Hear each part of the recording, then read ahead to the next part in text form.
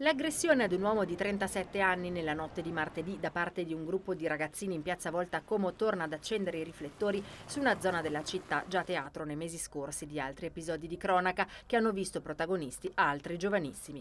L'uomo di origine pakistana è stato avvicinato, in base a quanto è stato possibile ricostruire, mentre stava camminando. È stato circondato con il pretesto di una sigaretta, di fronte alla sua risposta negativa sarebbe stato colpito al volto con un pugno rimanendo stordito. È stato poi derubato del cellulare Infine i ragazzi sono scappati. Sull'accaduto indaga la Polizia di Stato.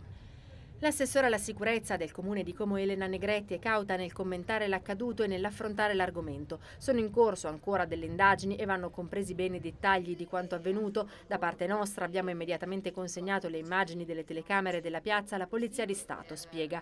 Non parlerei ancora di tema sicurezza perché potrebbero essere molteplici gli scenari di quanto accaduto, spiega ancora l'assessore. La collaborazione con la polizia è ovviamente sempre massima e attendiamo gli esiti.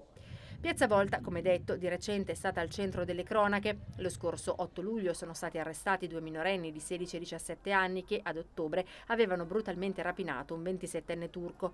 A poca distanza tra i portici Plinio e Piazza Roma lo scorso 16 giugno un minorenne venne rapinato da una baby gang. E ancora lo scorso 1 giugno si erano vissuti momenti di follia, sempre in Piazza Volta, quando un 34enne tedesco aveva dato in escandescenze prendendosela con alcuni presenti e danneggiando gli arredi di un locale. A questi episodi si aggiungono i problemi di inciviltà vissuti durante quest'estate con l'area lasciata sporca e piena di rifiuti dopo una notte di divertimento.